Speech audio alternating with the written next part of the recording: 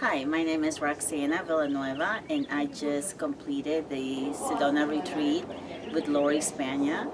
Uh, it was amazing. It was very uplifting.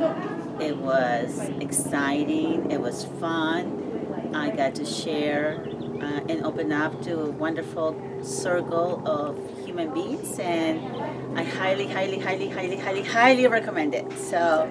All my love to you. Thank you, thank you, Lori, for everything you have done for me and for everybody else. I love you.